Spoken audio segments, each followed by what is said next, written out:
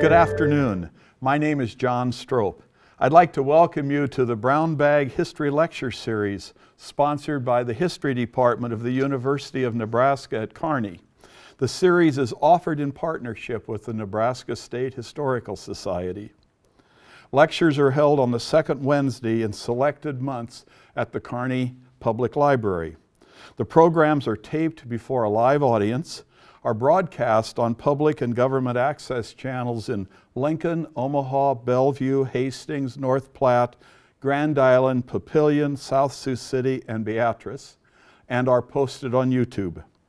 A schedule for this series, as well as information about all of the History Department's programs, can be found at www.unk.edu slash academics slash history. Check it out. Information about all of the Society's programs and services can be found at www.nebraskahistory.org. If you are not already a member, I encourage you to join. Benefits of membership include subscriptions to Nebraska History Magazine and the Society's newsletter.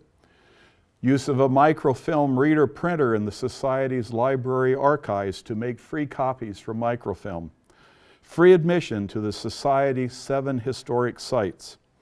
Discounts in the Society's landmark stores at the History Museum in Lincoln, the State Capitol, and Chimney Rock. Before I introduce today's speaker, I want to thank the UNK History Department and the Nebraska State Historical Society Foundation for the financial support which allows us to tape and broadcast programs on public access cable channels across the state and on the Society's YouTube page. That page is at www.youtube.com slash user slash Nebraska Historical. Our speaker today is Dr. Jeff Wells, Assistant Professor of History at UNK. Dr. Wells is a native of Joplin, Missouri. He received his PhD in history from Texas Christian University.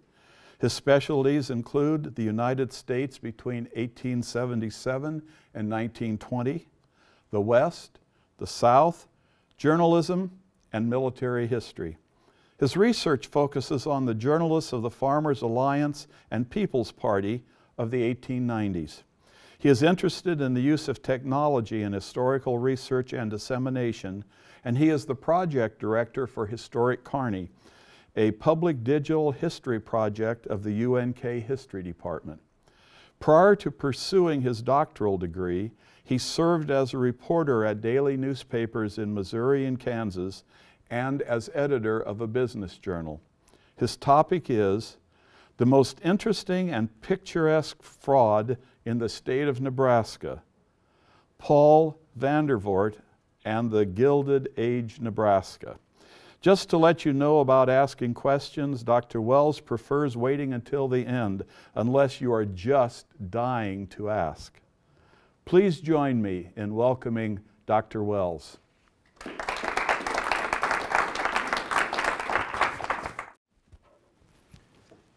Thank you.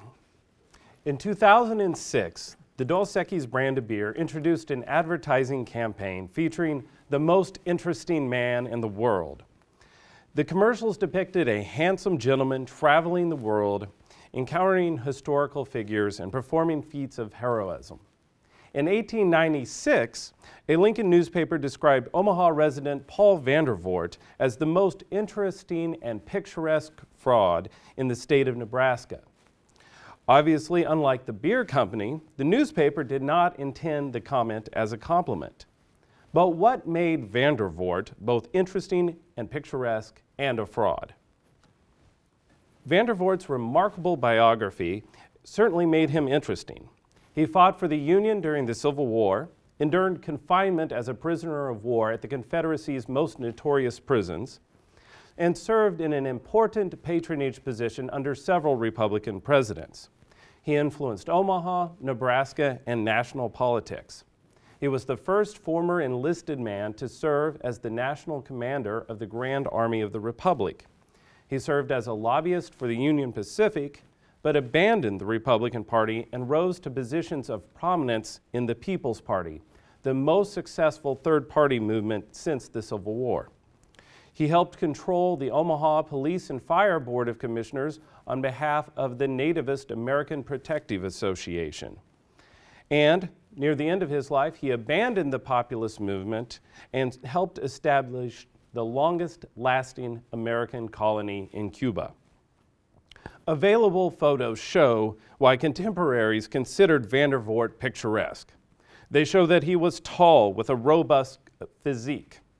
But his appeal extended beyond his physical appearance.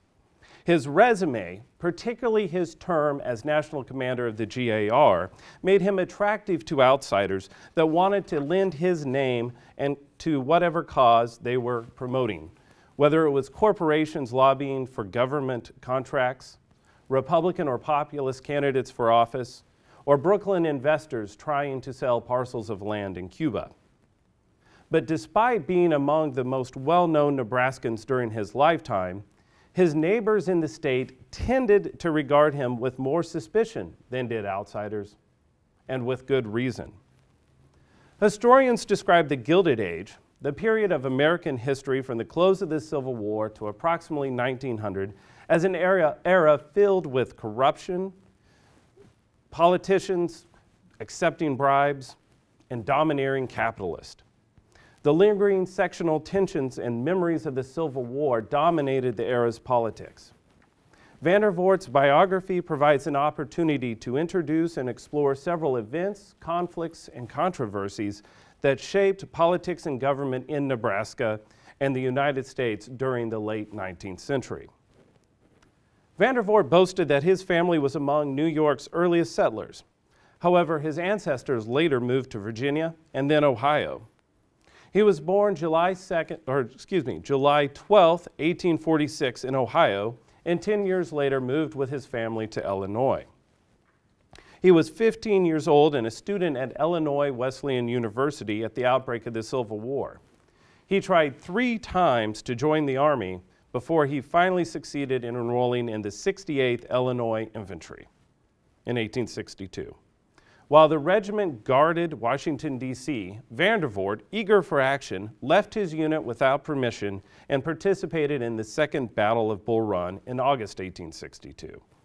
When his enlistment in the 68th Illinois Infantry expired, he joined the 16th Illinois Cavalry.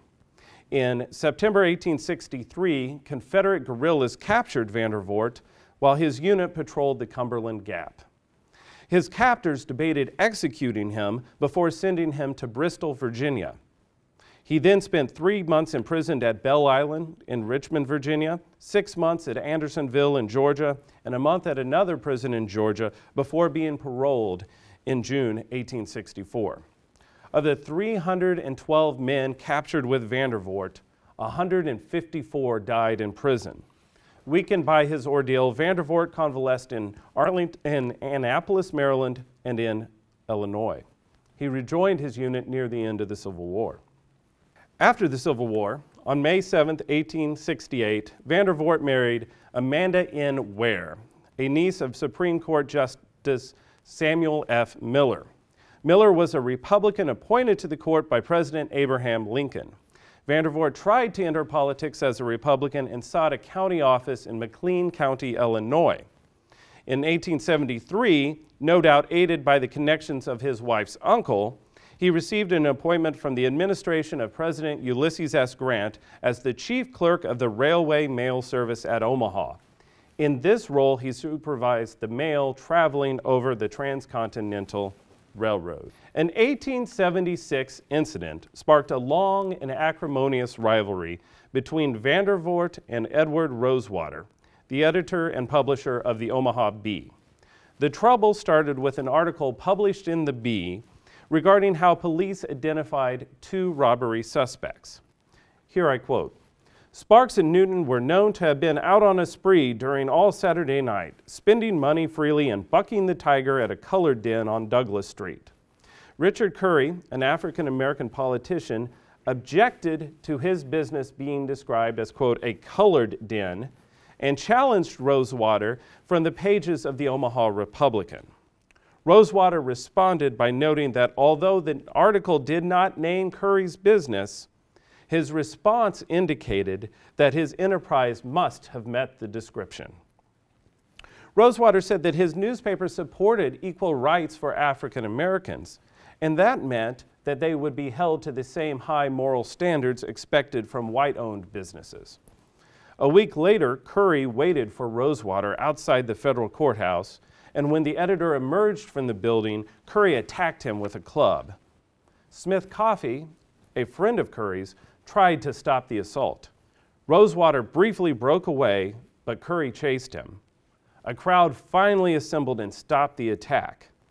A doctor attended to Rosewater while police arrested Curry and Coffey and charged them with attempted murder.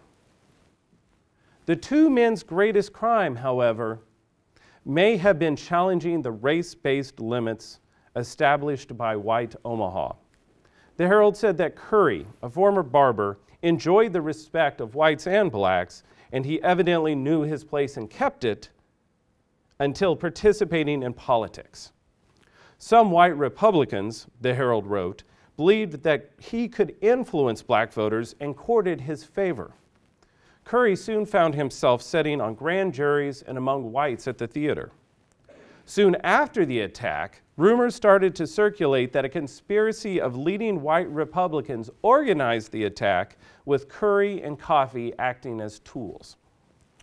William J. Connell, who would go on to serve in Congress, was the district attorney that investigated the case. Upon completing his investigation, Connell sent a letter to Postmaster General Marshall Jewell reporting that sworn testimony of several witnesses indicated that the Omaha postmaster and Vandervoort had concocted a plot to create the rivalry between Curry and Rosewater and in an attempt to incite violence between the two. The two postal officials allegedly directed someone to insert the item, purportedly from Curry, into the Omaha Republican. The article appeared and both Rosewater and Curry fell for the trap. Connell reported to Jewell that although he lacked sufficient evidence to prosecute, Vandervoort took an active part in the conspiracy.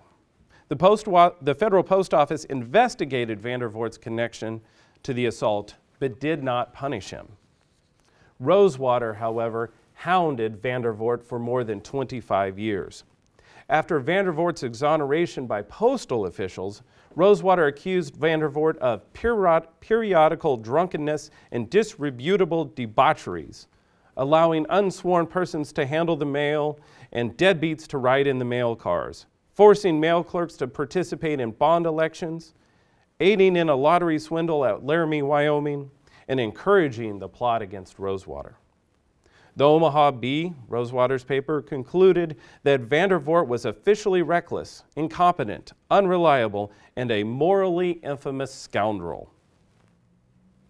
The newspaper wrote, whether these disclosures result in Mr. Vandervoort's removal or whether the department shall see fit to ignore and retain him, the people of Omaha and Nebraska must henceforth view Paul Vandervoort as an infamous character who, if he had his just deserts, would wear a zebra suit behind the bars of the Nebraska penitentiary.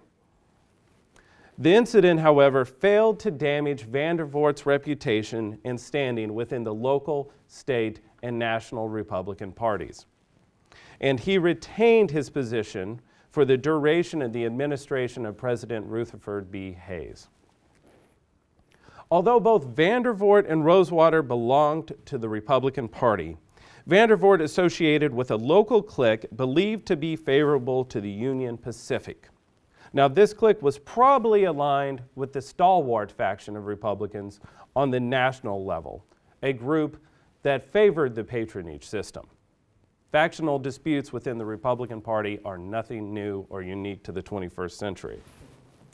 Rosewater belonged to a reformed minded faction, most likely associated at the national level with a group known as the half breeds. They were willing to support regulating the railroad. In 1880, Vandervoort supported former President Ulysses S. Grant's bid for the Republican presidential nomination. However, Rosewater and the Nebraska delegation to the 1880 National Convention supported James G. Blaine. Neither, uh, neither Blaine nor Grant would win the nomination. James A. Garfield, with Blaine's support, eventually won the nomination over Grant after 36 rounds of balloting. When Garfield won the presidency, Rosewater and the Bee hoped that the new president would select a postmaster general that would remove Vandervoort from his patronage post, but he kept his job and remained a popular Republican speaker and a member of the party's state central committee. The Brownville, Nebraska advertiser viewed him as a very well qualified and staunch Republican and true as steel. Some Nebraskans viewed him as a possible candidate for Congress in 1882. In addition to the Nebraska Republican Party, Vandervoort served in leadership positions for the Grand Army of the Republic. The Grand Army of the Republic was a fraternal organization for Union veterans of the Civil War. Vandervoort organized GAR posts in Illinois and Ohio and served in leadership positions immediately following the war. Upon his removal to Nebraska, he received an appointment as the provisional commander of the state and with the responsibility of organizing new posts. Although Union veterans filled Nebraska, Vandervoort faced a few challenges in organizing the state. The men, mostly immigrants from eastern states, had served in different units from different states during the war and lacked the cohesiveness and shared experience of members of Eastern GAR Post. Also, the order's involvement with politics tainted its reputation. Despite these challenges, Nebraska soon boasted 97 posts with a total membership of 3,000. He spoke on the GAR's behalf, or excuse me, Vandervoort's success in organizing Nebraska fueled his rise up the order's national ranks. He spoke on the GAR's behalf in Colorado, Illinois, Indiana, Iowa, and Kansas, he finished second in the 1881 election to be national commander. And he won election as national commander in chief of the Grand Army of the Republic during the order's June 1888, excuse me, June 1882 encampment at Baltimore. The Columbus Journal viewed the order's 1882 election of Vandervoort as an honor and victory for all of Nebraska. Vandervoort appeared at GAR events on the Plains, the Midwest, New England, and as far west as California. It will be seen that his engagements are as numerous as those of a stump speaker in a hot political campaign, wrote the National Tribune, the GAR's official newspaper. His heart is in the work, and his enthusiasm is likely to beget enthusiasm in his comrades. Vandervoort encouraged GAR members to recruit other veterans to the order and to open new posts. He sponsored a contest to promote the order's growth, and the National Tribune claimed that the order reached his goal of 50,000 new recruits in only six months. In addition, his accomplishments as, as commander included organizing the Women's Relief Corps, an auxiliary organization. His term ended at the 1883 National Encampment at Denver, Colorado. Vandervoort claimed that Postmaster General Timothy Howell, appointed by President Chester Arthur after Garfield's assassination, gave him permission to be absent from Omaha and his postal duties to serve the GAR. But when Howell died, his successor, Walter Q. Gresham, dismissed Vandervoort from his position as the chief clerk of the Railway Mail Service because of numerous absences during his time as the GAR's commander. Vandervoort claimed he made only one trip and with permission and without pay under Gresham, and he complained that he only learned of his dismissal when his successor walked into the department. According to the post office, however, Vandervoort missed 265 days from office in the year that ended July 31st, 1883 most in service to the GAR. Clerks performed some of Vandervoort's duties during his absences, but many of his obligations were entirely neglected. Superiors reported that his absence demoralized service in his section, and the division superintendent had warned him against being gone. Vandervoort had promised to return to duty at Omaha immediately following the end of the Denver meeting, but instead he went to Soda Springs, Idaho, and remained there until he was fired. His record in the department for a long time has been one of continued disregard of orders, a report said. Rosewater cheered Vandervoort's dismissal. For if there ever was a low down, contemptible railroad serf in existence, Vandervoort is that one, and had it not been for Justice Miller, a Supreme Court judge, your good state would not have been cursed with his presence for as long as it was. A Kansas correspondent wrote to the Bee.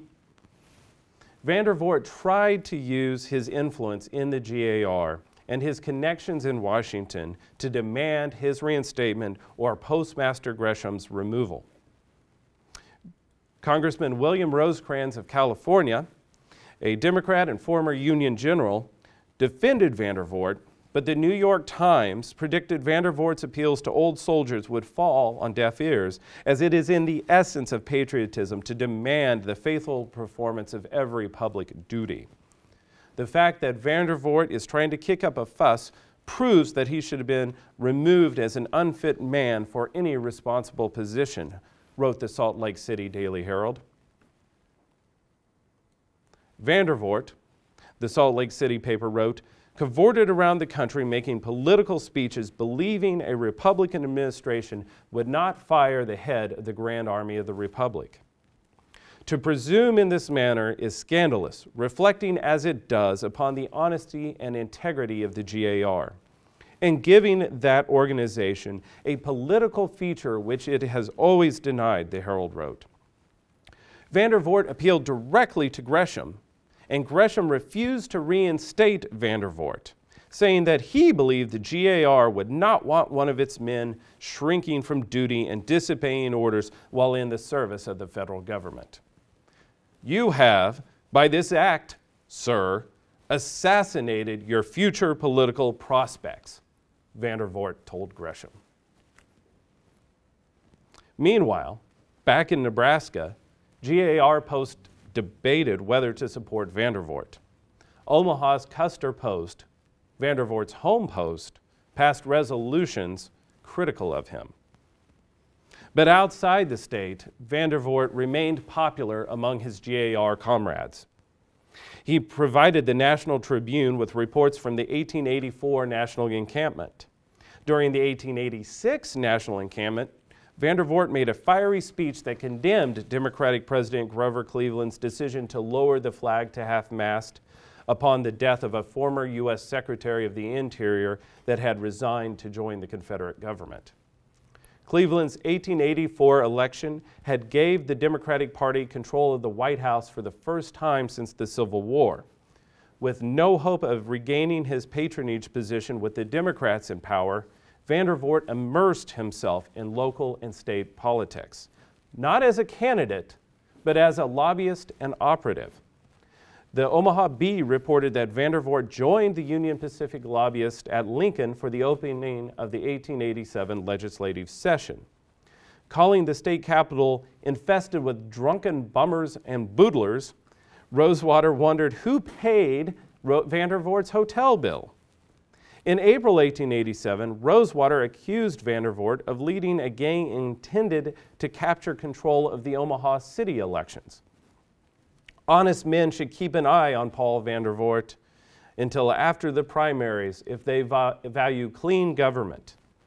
By the way, who employs Mr. Vanderbum now? And what is his business? The Bee wrote. The Omaha Republican, however, tried to promote Vandervoort's reputation. The Blair pilot, however, rejected the Republicans' attempts to rescue Vandervoort's name.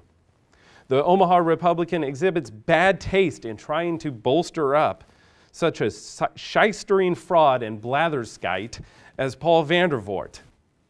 The pilot said it would be impossible for the Republican to convince the Nebraska public that Paul Vandervoort is anything but a deadbeat fraud and blatherskite. Unless there is something more disgraceful and degrading that he can be. Throughout the late 19th century, the Grand Army of the Republic operated as a political arm of the Republican Party, despite the misgivings of some members that wanted to see the organization remain nonpartisan. At the GAR's 1887 national encampment, Vandervoort introduced a resolution condemning Cleveland's policies towards Union veterans.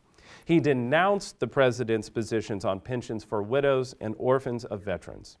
Cleveland's efforts to return captured Confederate flags to the southern states met his ire, and the president's appointment of ex Confederates to offices was denounced. Under the heading Vanderbum's Bomb, Rosewater wrote that Paul Vandervoort has thrown a bomb into the Grand Army of the Republic camp, and his insane desire for notoriety has again been gratified. Vandervoort's nemesis claimed that Vandervoort had shot principally with his big mouth and was never with re within reach of a bombshell or a gunshot during the entire war.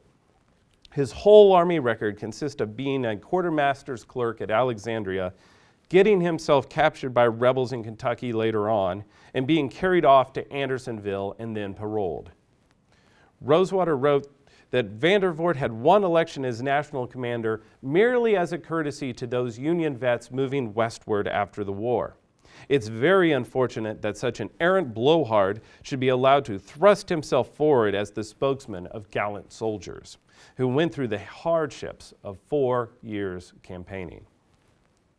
Vandervoort spent the winter of 1887 1888 in Washington, D.C., acting as a lobbyist for stone and granite quarries, bidding to build the basement and first floor of the Library of Congress building. He left D.C. for Nebraska on May 26, 1888, accompanied by Supreme Court Justice Miller. In June 1888, Vandervoort went to Chicago for the Republican National Convention. There he actively opposed the candidacy of Walter Q. Gresham, the former Postmaster General that had dismissed Vandervoort in 1883. Gresham represented a reform minded wing of the party and received support from the members of the Patrons of Husbandry, also known as the Grange, the Farmers Alliance, and the Agricultural Wheel. An Omaha Bee correspondent described Vandervoort as a bloodthirsty veteran who never came within a thousand miles of a battle. In Chicago, the paper claimed, Vandervoort joined with railroad interest trying to defeat Gresham. Benjamin Harrison, the grandson of former President William Henry Harrison, won the Republican nomination. Outside of Nebraska, Far from, Vander, or far from Rosewater's influence, Vandervoort continued to earn praise. The Indianapolis Journal lauded his work on behalf of veterans, calling him an ardent friend of the soldier. Indiana's Republican State Committee arranged for him to speak in the state in advance of the November 1888 election. He called on Harrison, Vandervoort called on Harrison at the Republican nominee's Indianapolis home on October 14, 1888, and in the campaign's final weeks, he visited Connecticut, Michigan, and New York on behalf of Harrison and the Republican Party. Vandervoort expected Harrison's victory over Cleveland to return him to a choice patronage position. He again visited Harrison's Indianapolis home in January 1889 before spending the rest of the winter in Washington, D.C.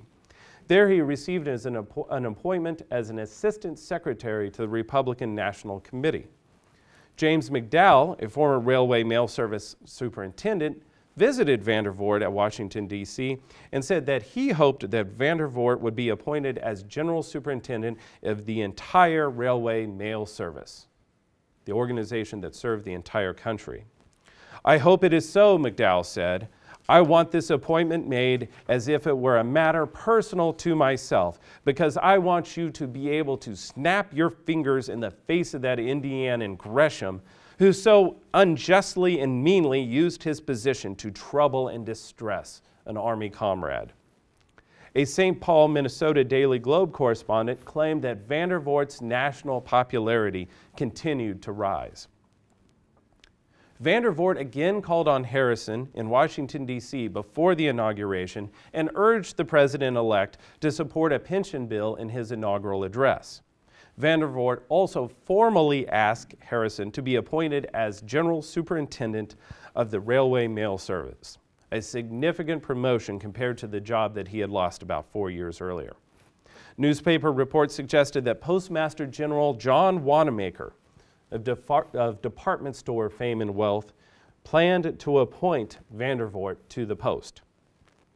However, Vandervoort's enemies, no doubt including Edward Rosewater, submitted a lengthy letter detailing the circumstances surrounding his 1883 removal and allegations regarding his service as a lobbyist for the Union Pacific to Wanamaker.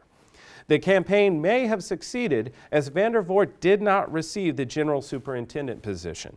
Instead, he received an appointment as a superintendent of mails at Omaha, basically his old job by a new name. Vandervoort's responsibilities as superintendent of the mails included seeing that clerks properly handled the mail, examining the reports of railway postal clerks, and tracing errors.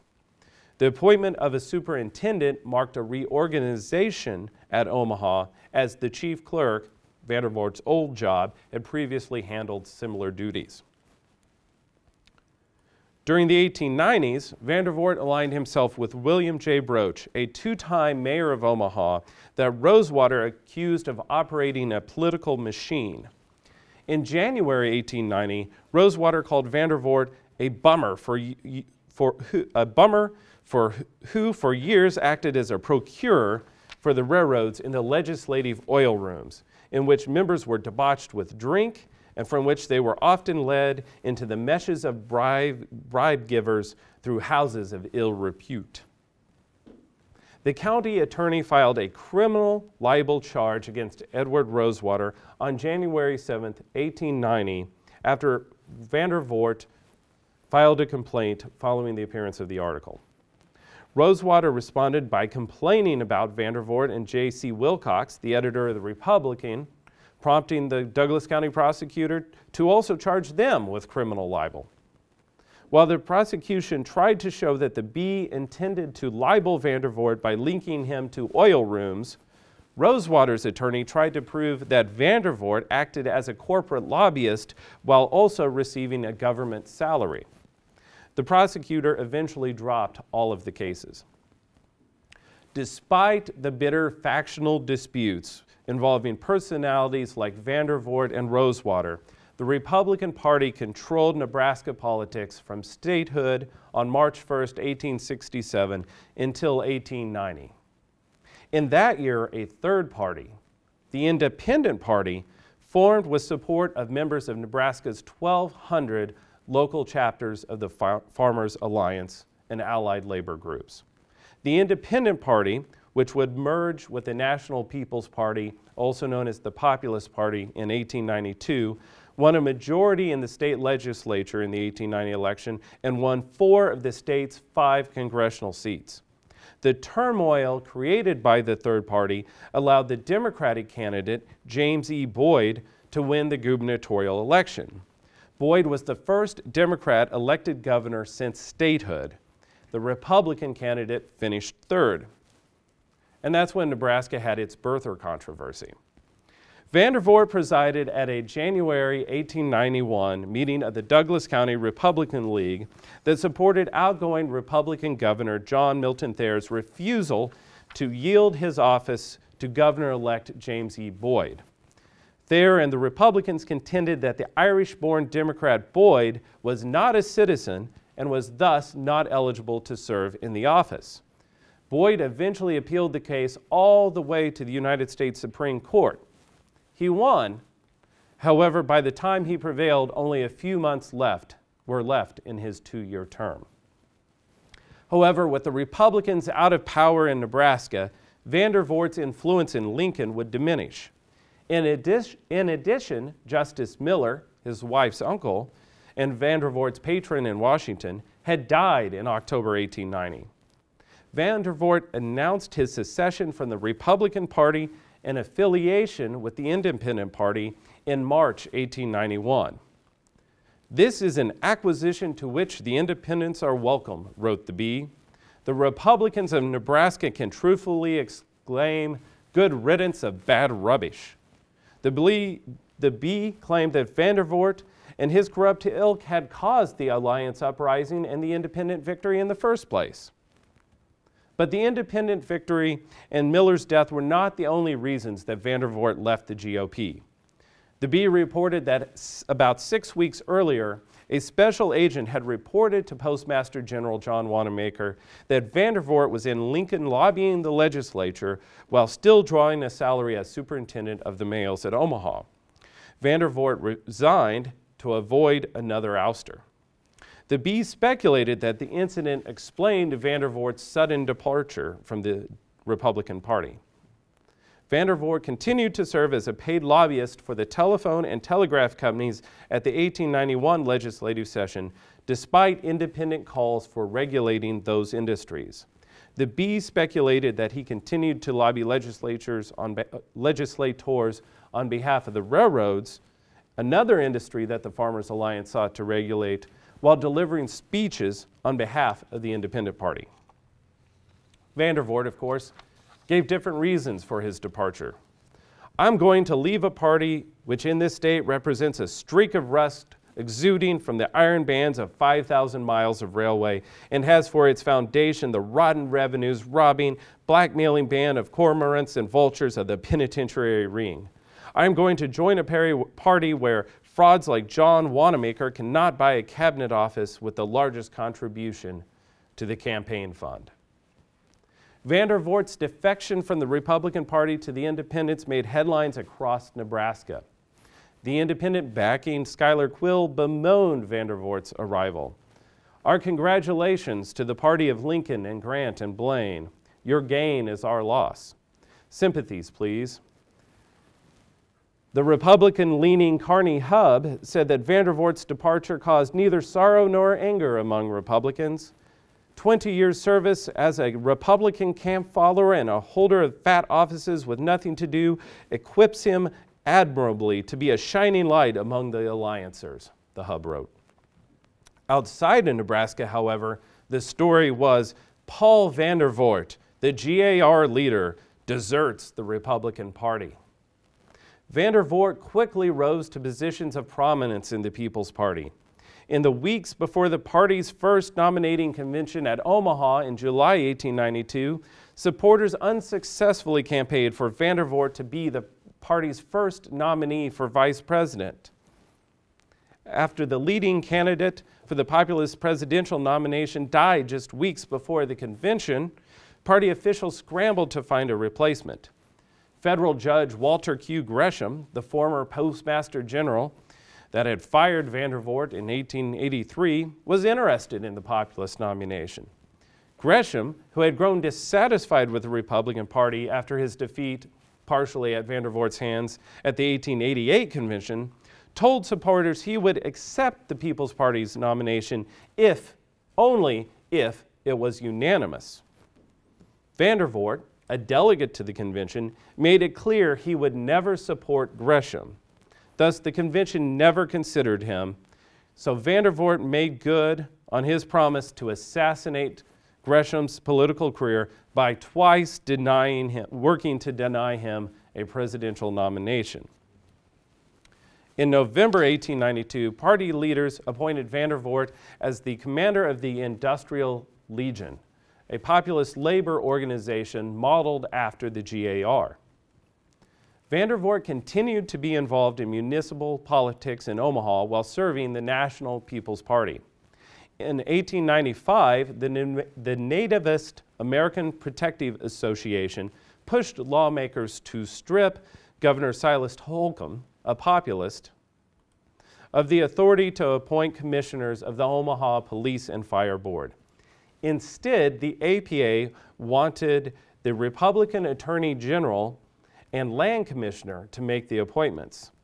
Holcomb sued after the APA favored officials named Vandervoort and two Republicans to the board.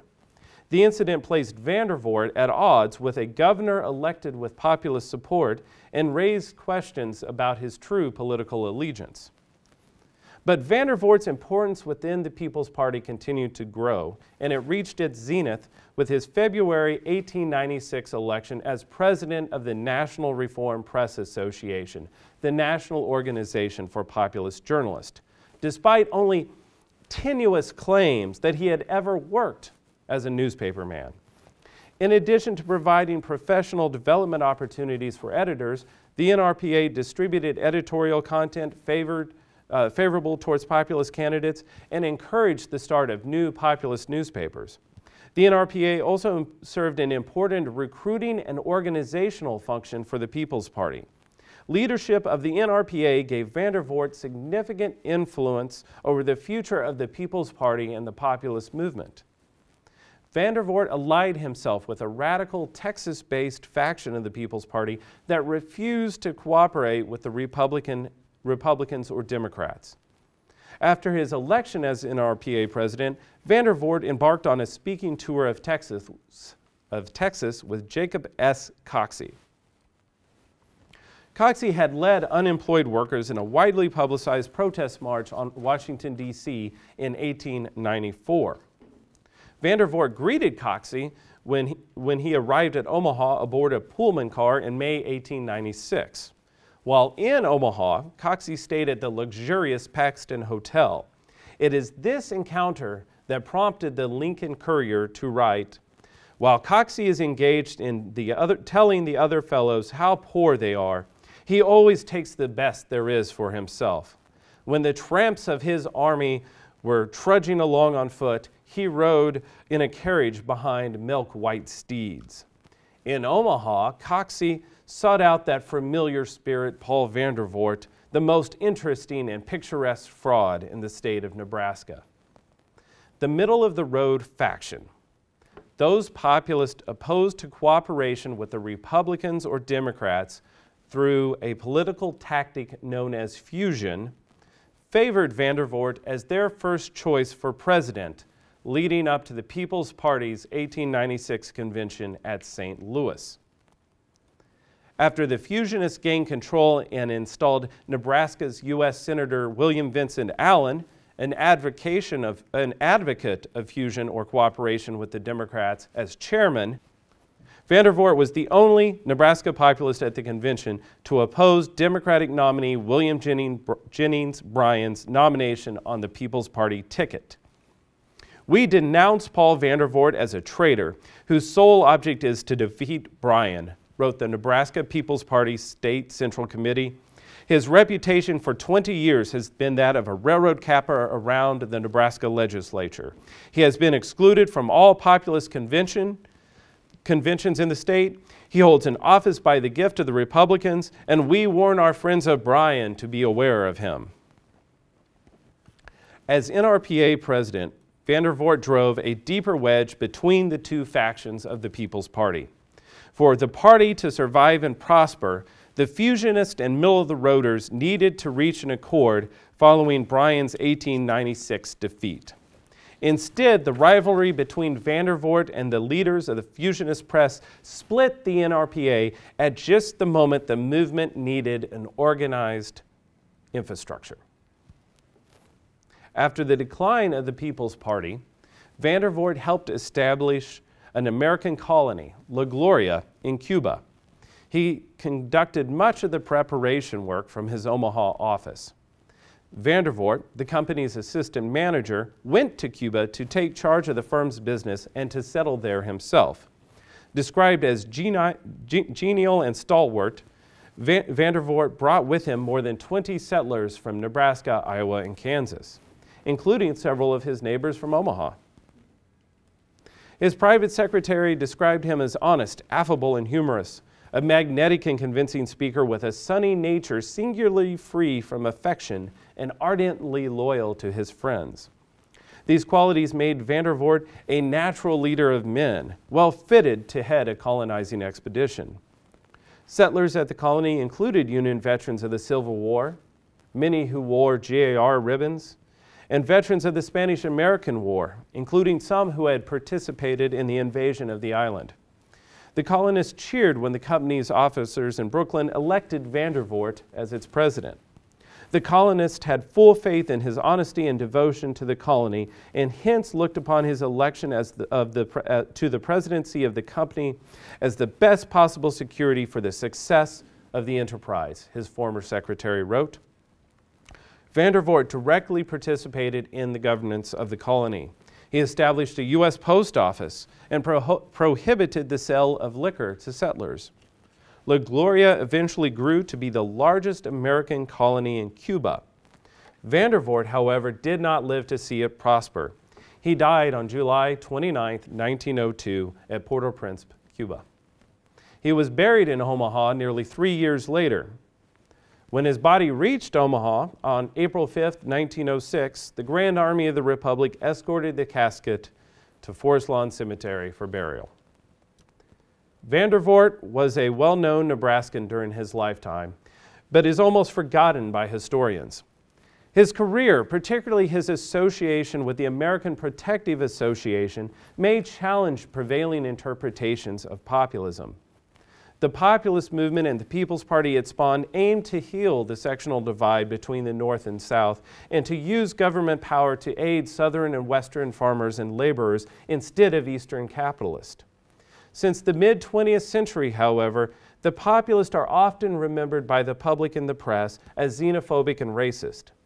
Paul Vandervoort's emergence as a national populist leader provides evidence to support this negative view of populism However, a close examination of Vandervoort's entire career and the attitudes of his neighbors in Nebraska reveal that while interesting and attractive on the surface, he embodied the worst stereotypes of Gilded Age political corruption and that the mainstream of Nebraska populists rejected his views.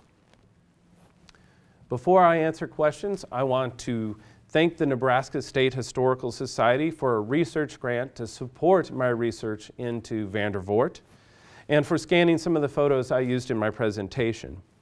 I also thank the Society and my colleagues in the Department of History at UNK for arranging this lecture series. Thank you for attending, especially to my Nebraska history students.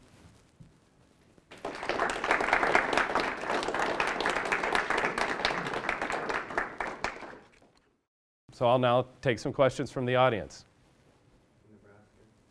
So the question is, what was Vandervoort's association with the American Protective Association?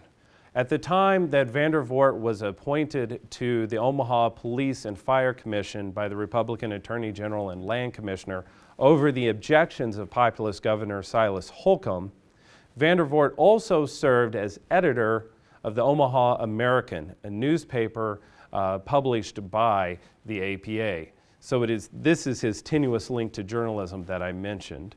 And whether he actually participated actively in the production of the newspaper is unclear, but Vandervoort did uh, affiliate and associate himself with the nativist and anti immigrant and anti Catholic views of the APA.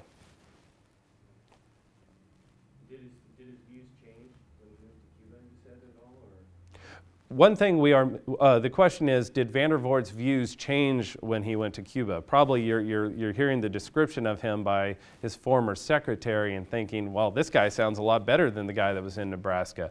Unfortunately, historians do not know of a deposit of, of Vandervoort's papers or a diary or anything. So we, we don't know a lot about what he actually thought himself.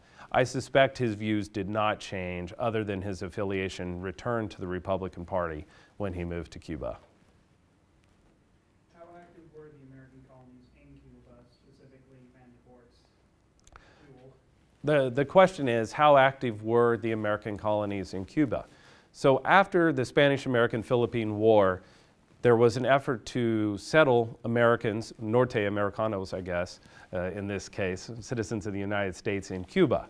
And the uh, effort that Vandervoort joined was one that was not officially sanctioned by the government, that, but had been arranged by land speculators. And uh, yeah, and so uh, he participated it, he, in it. He used his uh, reputation of being a former national commander of the GAR to help promote the colony. And then he went there and uh, participated in the governance of the colony. His son and uh, other members of his family joined him there and also acted as surveyors on the project. This, they created out of basically the jungle a thriving community that persisted uh, until the 1940s when the second and third generation uh, of Americans there left, came back to the United States, long before the Cuban Revolution. But it persisted for several decades. Do you have a sense of Vandervoort's personal wealth, like whether that you can prove that he used his office to enrich himself over these times? That, that actually happened? The question is Do I have a sense of, of Vandervoort's personal wealth? I know that when he was head of the Industrial Legion, the populist labor organization, he was constantly sending letters to populist newspapers asking for members to send in their dues, saying that he had uh, risked his family's own finances to support the organizing of the Industrial Legion. And so I suspect, particularly throughout the 1890s, Vandervoort was struggling to, uh, to pay his bills. I, I never get the sense that he used any of his positions to accumulate vast personal wealth. I think he struggled pretty much his whole adult life. Was there a reason why uh, Vandervoort's body took so long to get back to Forest Lawn Cemetery in Omaha? Like Yeah. years, so is there a reason behind that? Yeah, so that's a great question. What took so long for his body to uh, go from Cuba to back to burial in Omaha? I don't know. That, that's something that my research hasn't uncovered. Um, I don't know if he was initially buried in, in Cuba. I suspect that he was. Uh, and then his body was removed once uh, they made arrangements. I suspect the GAR may have helped pay for the uh, body to be removed back to Omaha, but uh, I have not yet found evidence of that. When I think of populism, I think, I think of William Jennings Bryan. What was the connection of, of uh, Vandervoort and William Jennings Bryan? Okay, so the question is what was the connection between uh, Paul Vandervoort and William Jennings Bryan, famous Nebraskan of the time period, and uh, what was Vandervoort's role with the populist, or what was William Jennings Bryan's role with the populist movement? So, Vandervoort is the one member of the Nebraska delegation to the 1896 Populist National Convention to oppose William Jennings Bryan's nomination as the People's Party nominee. What happened in 1896 is the People's Party made a decision to hold its convention third. The Republicans met in St. Louis and, as expected, nominated William McKinley, an advocate of the gold standard, for the presidency. The populists expected that the Democrats, which met a couple of weeks later in Chicago, would also nominate a candidate that favored the gold standard. President Grover Cleveland, the sitting Democratic president, favored the gold standard and had economic policies very similar to that of, uh, William, of William McKinley. But William Jennings Bryan, a former congressman from Nebraska, went to Chicago and delivered his famous Cross of Gold speech. The speech convinced the Democratic Party to nominate Bryan for president. And so, with the Democratic Party in favor of moving away from the gold standard, adopting the coinage of silver, currency inflation, that meant that the People's Party had lost their most appealing issue. And so the populists went into their convention in St. Louis in turmoil. Were they going to nominate a candidate of their own and risk sp- splitting the free silver vote and handing the election to McKinley? Or could they get behind Bryan, a Democrat, and support him? And that's the controversy that, that tore the party apart at the convention. And Vandervoort was among those that refused to accept the nomination of Bryan as the People's Party candidate. Now, it's important to note that Bryan was not a populist. Bryan was not a member of the People's Party, despite Bryan receiving the populist nomination for the presidency. And so they had to kind of negotiate a careful balancing act William Vincent Allen, Nebraska's U.S. Senator, the chairman of the uh, People's Party 1896 National Convention, was a personal friend of Bryan's. And so instead of asking him to accept the nomination, they told him, You are the nominee. We're just going to notify you. We're not going to actually ask you if you want it. You're just going to be, be it, okay? So that's how they worked through that. But Bryan was mm. not a populist, but, and, but Vandervoort was the only Nebraska populist to, to oppose his nomination. Okay, thank you all for coming. Appreciate it.